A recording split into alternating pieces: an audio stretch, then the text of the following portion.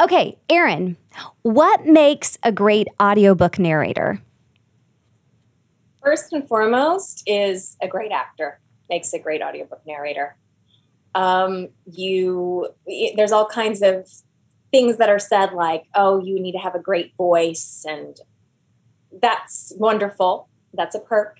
But first and foremost, you have to be a great actor. Um, audiobooks have a heavy load of telling a story, creating tons of characters, and you need to be able to to do that and, and have fun with it. So I think that's really the number one thing that makes a great audiobook.